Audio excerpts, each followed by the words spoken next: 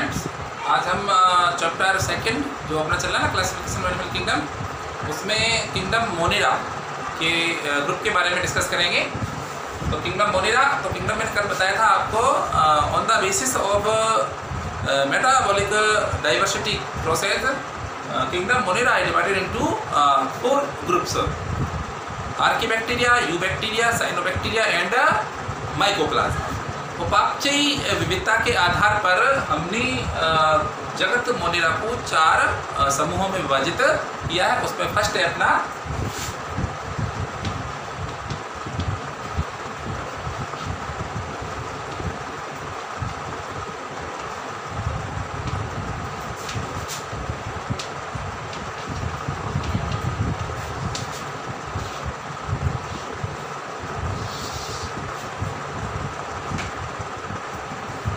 Archie bacteria यानी कि प्राचीन जीवाणु। तो इनके क्या लक्षण होते हैं? आर्की बैक्टीरिया और प्राचीन जो जीवाणु होते हैं, वो आदिकालीन, आदिकाल से ही पाए जाते हैं। प्रिमिटिव माइक्रो ऑर्गेनिज्म ये कहलाते हैं। जब से हमारी पृथ्वी पर जीवों की उत्पत्ति की शुरुआत हुई थी, उस समय से ये जीवाणु हमारी पृथ्वी पर पाए जाते हैं। इसीलिए उनको क्या बोलते हैं? प्राचीन जीवाणु ancient bacteria called archaebacteria archaebacteria ऐसे कठिन आवासों में, प्रतिकूल परिस्थितियों में पाए जाते, जहाँ अन्य कोई भी जीव आसानी से जीवित नहीं रह सकता। These bacteria found that places very difficult habitat and environment where no any living organism live easily अब वो कौन कौन सी कठिन आवास है जहाँ पर ये पाए जाते हैं? उनको किस नाम से जाना जाता है? जैसे मान लीजिए ये बहुत अत्यधिक लवणीय जल में पाए जा सकते हैं। हाईली साल्ट वाटर में।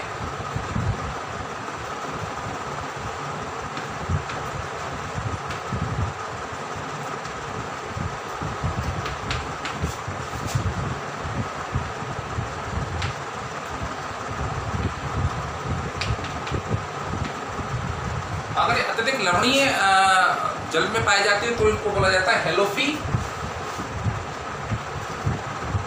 80 डिग्री से भी अधिक तापमान पर गर्म झरनों में ये जीवाणु जीवित रहते हैं। More than 80 degree Celsius temperature it mean hot water stream are present and called thermo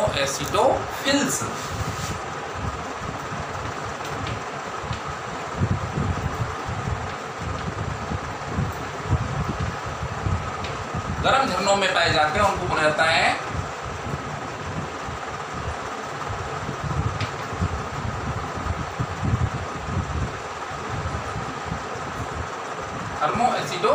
thermoacidophiles.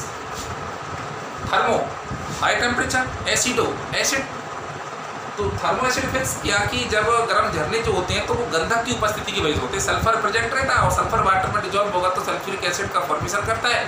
इसीलिए वो सल्फ्यूरिक एसिड के एनवायरनमेंट में रहने की वजह से इन को थर्मो एसिडोफिल्स के नाम से जाना जाता है। तीसरा है अपना इसमें कच्छ क्षेत्रों में पाए जाते हैं। बहुत ज़्यादा दलदली क्षेत्रों में ये जीवाणु पाए जाते हैं और साथ में ये गाय, भैंसों की आंत्र में बड़ी आंत्र में पाए जाते हैं और उसमें जो गोबर होता है, उसका अपघटन करते हैं और अपघटन करके मेथेन गैस उत्पन्न करते हैं। इसलिए इनको मेथ्रोजन के नाम से भी जाना जाता है। These bacteria also present in the rumen of cows and buffalo and degrade या decompose of dung and produce methane gas so these are also called methanogens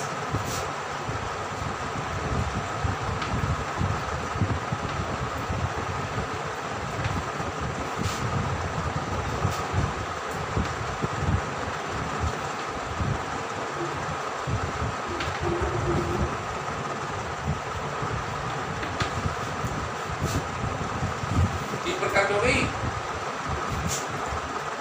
इसके अलावा हम आपको बता दें इसमें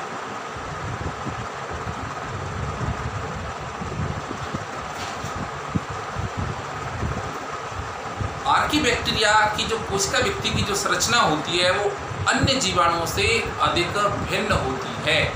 और इस विद होने के कारण ही ये प्रतिकूल दशाओं में आसानी से जीवित रह सकते हैं। The cell wall of bacteria is differ from other bacteria due to this they can live easily in very difficult habitat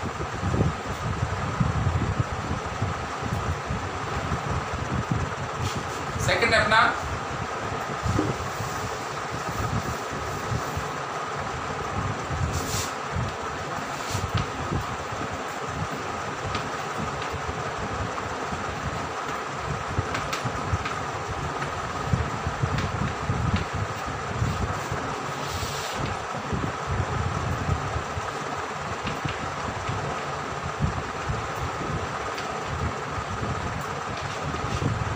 you bacteria इनको जीवाणु, सत्य जीवाणु या आधुनिक जीवाणु के नाम से भी जाना जाता है। इनकी क्या विशेषता होती है वो हम जानेंगे।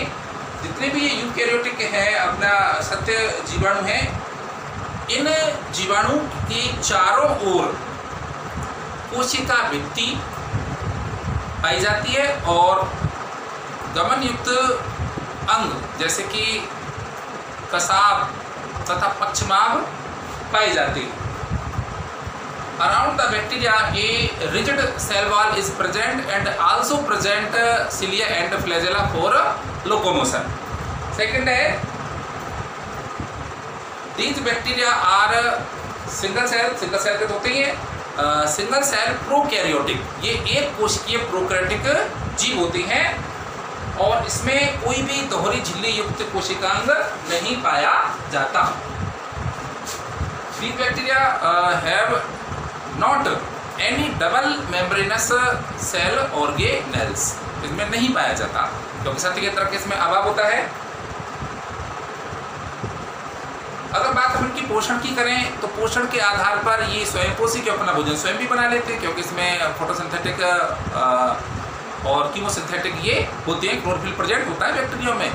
क्लोरोफिल प्रेजेंट होता है तो अपना भोजन स्वयं बनाएँगे। इसलिए इनको क्या बोलते हैं अपन फोटोसिंथेटिक भी होते हैं और कीमोसिंथेटिक रसायन संश्लेषी होते हैं, क्योंकि केमिकल सबस्टांस का ये डिग्रेडेशन करके उससे जो एनर्जी प्रोड्यूस होती है, उससे अपना जीवन है, निर्वाह कर सकते हैं। और सहजीवन, ये सिम्बाइसिस फॉर्म में भी पाए जाते हैं। और उसके साथ ये अपना अपघटक डिकम्पोजर होते हैं, जो अपघटन का कार्य आसानी से करते हैं। तो इनका जो पोषण है वो भिन्न भिन्न प्रकार का होता है स्वयंपोषी और विषमपोषी। Autotroph and heterotrophs mode of nutrition are found in the eubacteria generally तो इनमें एक्स सेक्सुअल रिप्रोडक्शन होता है। सामान्यतः लैंगिक जनन पाया जाता है, लेकिन प्रतिकूल परिस्थितियों में ये लैंगिक जनन भी दर्शाते हैं। और लैंगिक जनन होता है तो इसमें संयुग्मन विधि के द्वारा लैंगिक जनन देखा गया है। Mostly generally they show sexual reproduction but in unfavorable condition they also exhibit uh, sexual reproduction. And sexual reproduction is found in the form of uh, uh, conjugation. Cell conjugation two bacterial cell आपस में एक दूसरे जाकर के contact में आती हैं और जो उनका आनुवंशिक जो पदार्थ होता है वो एक दूसरे का एक्सचेंज होता रहता है। यानी chromosomal material exchange each other in bacteria by cell conjugation method और यही वो जीवाणु होते हैं, सत्य जीवाणु जीवाणु, आधुनिक जीवाणु, जो पादपों में, जंतुओं में, मनुष्यों में अनेकों प्रकार के खतरनाक रोग उत्पन्न करते हैं। These bacteria also produce various dangerous disease in human beings animals and plants such as cholera from Vibrio cholerae जो हैजा होता है विब्रियो कोलेरी के द्वारा होता है। निमोनिया स्ट्रेप्टोकोकस निमोनी के द्वारा होता है। और टाइफाइड साल्मोनेला टाइफिस होता है तो बहुत सारी डिज़ीज़ जो अपने ह्यूमन बींग से पाई जाती है। अगर प्लांट की बात करें तो सिट्रस कैंकर नींबू में एक प्रकार का खर्रा रोग बोलते हैं, वो भी जीवाणुओं के द्वारा होता है। उसका नाम है अपना जेंथोमोनास सिट्राई जेंथोमोनास सिट्राई नींबू में कैंकर रोग उत्पन्न करता है। तो ये काफ़ी खतरनाक होती है।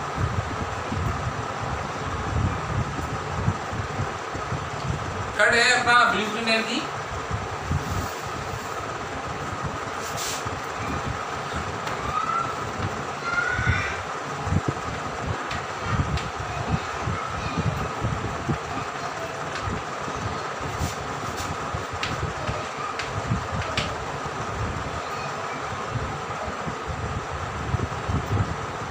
साइनो जीवाणु।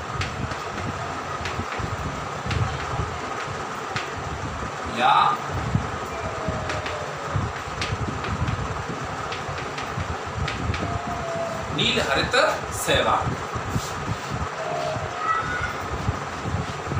तो इनके क्या करेक्टर होते हैं? They are filamentous unicellular microorganism found in all types of aquatic habitat ये जो सूक्ष्मजीव होते हैं, वो तंतुमय होते हैं, एकल होते हैं और सभी प्रकार के जलीय आवासों में ये पाए जाते हैं। जैसे स्वच्छ जल है, लवणीय जल है और प्रदूषित जल में ये काफ़ी फलते फूलते रहते हैं। ये जो तंतुमय शैवाल हैं, वो हमेशा एक कॉलोनी बनाकर रहते हैं। दे आर कॉलोनियल हैबिटाट यानी एक ग्रुप बना करके रहते हैं। और इनमें एक विशेष प्रकार की कोशिका पाई जाती है, जैसे मान के चलिए ये एक कोशिका है, और इसके चारों तरफ़ ये अदर सेल्स हैं।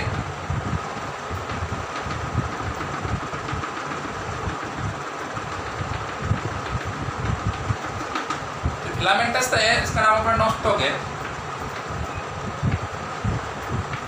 तो नोस्टॉक में ये क्या है special types of cells are present in nostoc anabaena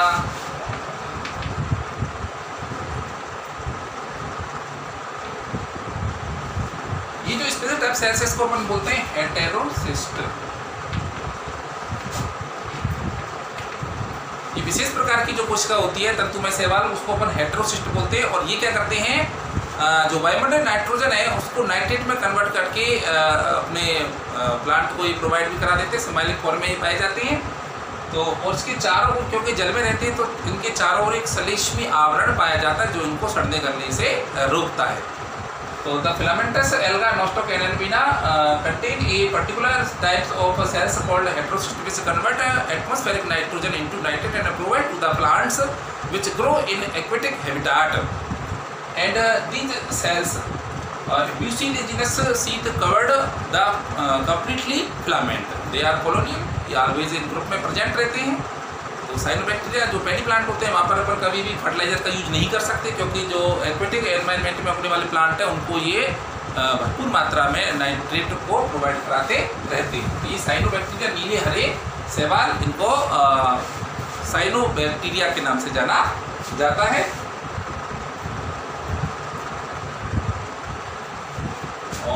अपना।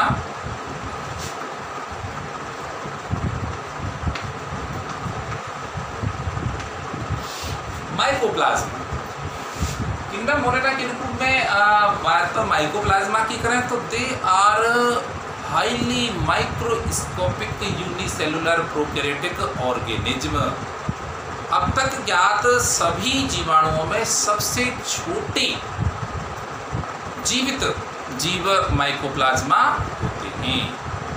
इनमें कोशिका भित्ति नहीं पाई जाती। They do not contain cell wall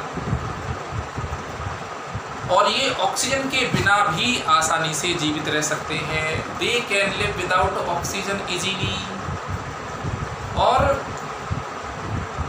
इनके द्वारा अनेकों प्रकार के रोग उत्पन्न किए जाते हैं। देखने में तो माइकोप्लाज्म बहुत सरल सा और पातिम जीव है, लेकिन ये पशुओं में, गाय, भैंसों मान के चलिए निमोनिया डिज़ीज़ प्रोड्यूस करते हैं।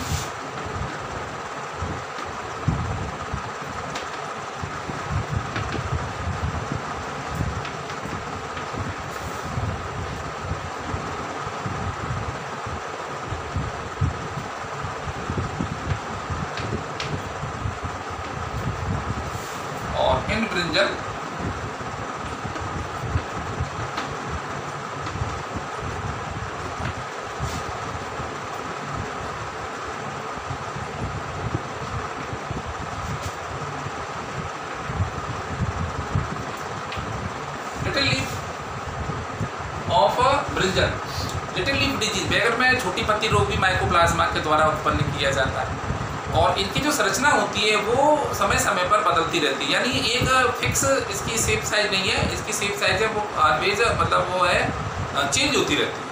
तो बार बार सेप साइज़ चेंज करता रहता है, अपना जो सेप बदलती रहती है तो बार बार अपना रूप बदलने वालों को अपन क्या बोलते हैं, बहरूपिया, या जोकर बोलते हैं। तो इम्पोर्टेंट है कि mycoplasma is called the joker of plant kingdom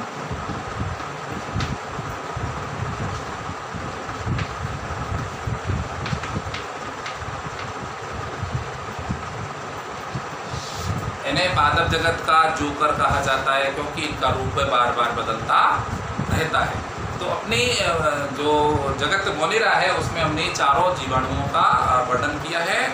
Eubacteria archaebacteria cyanobacteria and mycoplasma तो कल हम आपको किंगडम प्रोटिस्टा के बारे में डिटेल से समझाएँगे। तो आज को इतना। आप ये समझने का प्रयास करेंगे। Thank you.